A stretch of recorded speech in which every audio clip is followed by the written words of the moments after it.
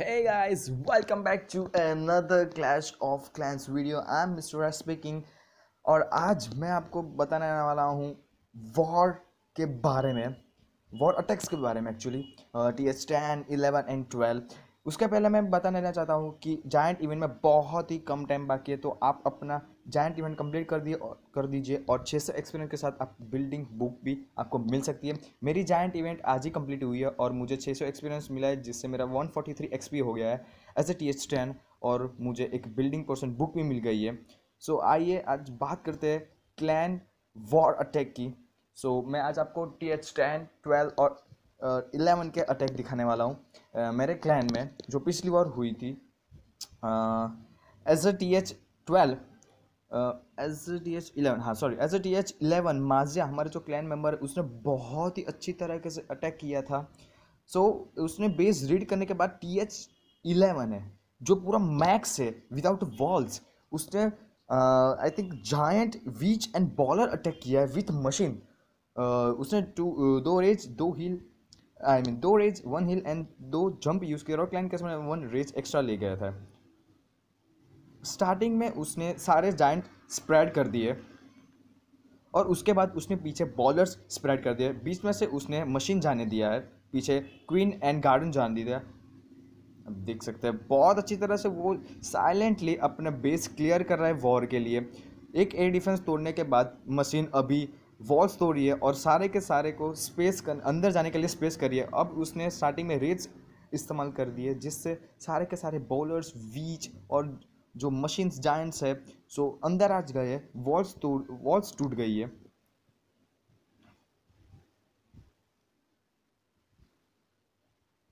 सो अभी clan castle के enemy सारे के सारे मर गई है, पॉइजन स्पेल से, गार्डन के spell I mean ability use कर दी है।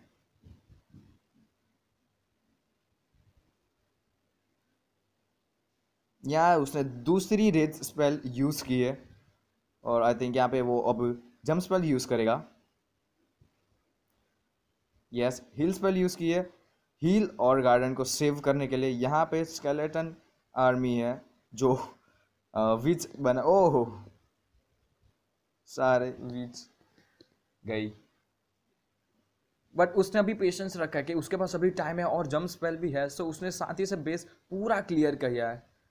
थ्री स्टार के साथ माजिया ने ये बेस को कंप्लीट किया है। क्लीन की एबिलिटी अभी ये वो यूज़ करेगा।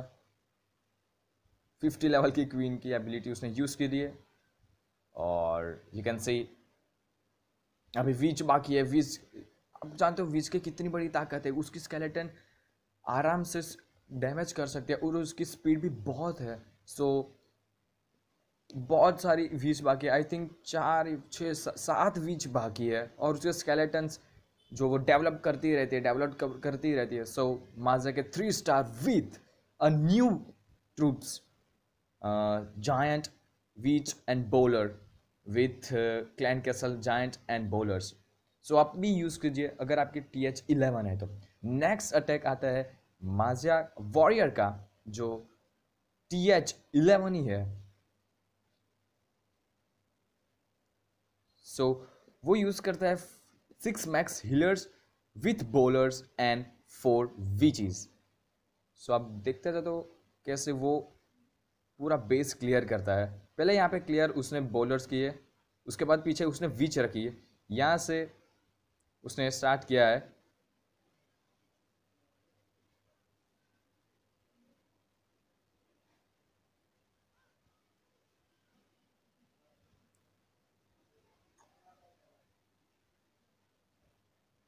मशीन ने वॉल तोड़कर स्पेस कर दिए बॉलर्स और हिलर्स के लिए I mean bowlers and queen और हिलर्स के लिए। ऊपर से जो एनिमी से जो बाहर आ चुके हैं और पॉइजन से वो सारे के सारे गए।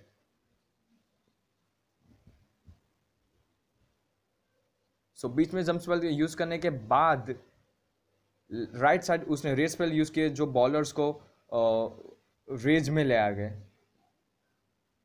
क्वीन की एबिलिटी अभी उसने यूज़ नहीं की है। सो so, उसने पूरे शांति से बेस को क्लियर कर चुका है। With three star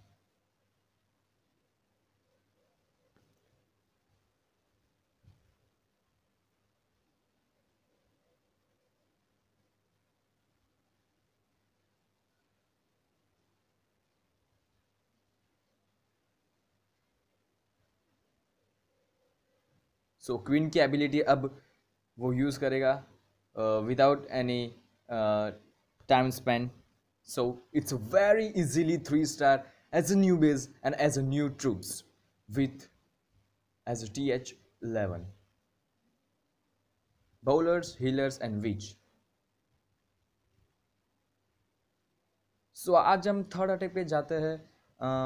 rock uh, का जो नंबर ट्वेल्व है बट उसने फोर्थ पे अटैक किया है as a T H eleven I think he is rush base but use first जो uh, माजा ने यूज़ अटैक किया था giant witch is and bowlers so आज का थर्ड नंबर पे आता है ये रॉक का. पहले पूरे जाइंट उन्हें स्प्रेड कर दे उसके पीछे सारे बॉलर्स और उसके पीछे सारी विचीज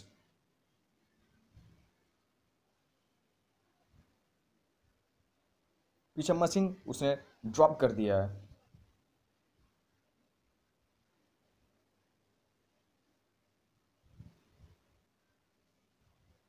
He used raid spell for raids the all troops. Poison डाल दिए अब जो बलून बाहर आ गए। इस बाजू यहाँ पे ड्रैगन बाहर गया बाहर निकल गया है बट पीछे वीच है तो सारे के सारे बॉलर्स अब आ, बच जाएँगे। बीच में उसने रेड स्पेल यूज़ कर दिया और यहाँ पे वो जंप स्पेल यूज़ करेगा। या यहाँ पे उसने जंप स्पेल यूज़ किया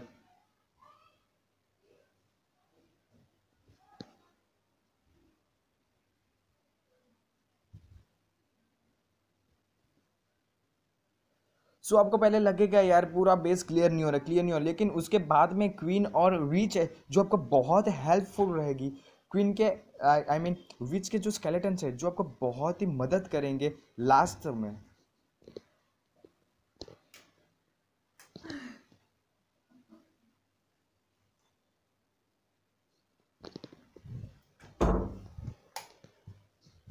So, you can see that सारे के सारे बेस उसने आराम से क्लियर कर दिया है। वीच ने और क्विन ने बहुत उसकी हेल्प की है। तो आज का थर्ड नंबर पे आता है रॉक का अटैक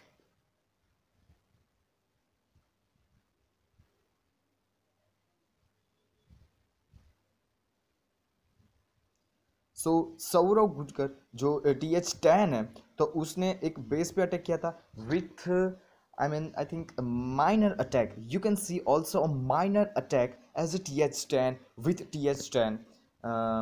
Base read करने के बाद उसने पहले मशीन uh, जाने दिया उसके बाद मशीन को पहले यहाँ तक क्लियर किया जैसे चीज़ के ट्रूप्स बाहर निकले उसने माइनर्स ड्रॉप कर दिया यू कैन सी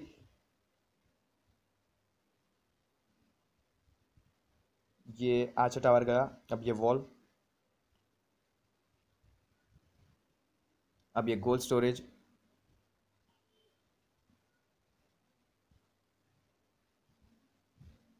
उसके बाद आर्चर टावर वॉल्स ओ मोटर भी गए। सो क्लैन कैसल के ट्रूप्स आराम से बाहर निकल गए। हैं अब वो क्लैन कैसल के ट्रूप्स पॉइजन से आ, पहले मार देगा फिर माइनर्स ड्रॉप्स कर देगा।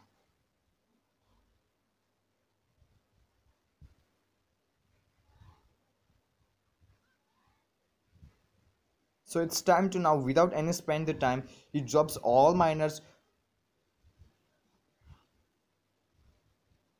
और मेन बात माइनस को कैसे हील करे कहाँ पे उसके साथ हील और रेड स्पेल रखे। तो रेड स्पेल हमेशा टाउन हॉल के पास दीजिए ताकि वो फटाफट उसके आसपास के सारे जो डिफेंस है उसको ख़त्म कर सके। यहाँ पे उसने दूसरी हिल स्पेल यूज़ कर दी है। जाइंट वॉम से उसने पहले देखो टाउनल के पास उसने पहले रेड स्पेल रख दी और उसके बाद उसने हिल स्पेल आराम से यूज़ कर दिया और एक हिल स्पेल बाकी जिससे पता चल गया कि पूरा बेस अभी आराम से क्लियर हो जाएगा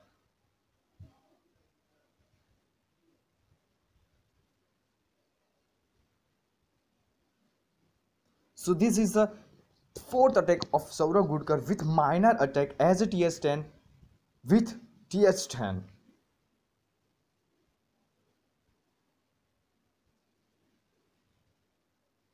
So good attack by Saurav Gudkar with minor attacks. So you can use also this attack, but you have to uh, first clear uh, CC's enemy troops. So बस गाइस आज के लिए बस इतना ही अगर आपको वीडियो ये पसंद आया तो यार लाइक कीजिए शेयर कीजिए मेरी वीडियो को और आज का वॉर की प्रिपरेशन भी चालू है तो आज की वॉर ख़त्म होने के बाद मैं आपको वॉर की सिचुएशन दिखाऊँगा कि कैसे उसने कैसे अटैक किया कैसे नए नए अटैक उन्होंने किए हुए। सो so, अगर आपको मेरी वीडियो पसंद है तो यार लाइक कीजिए सब्सक्राइब कीजिए मेरी चैनल को। Thank you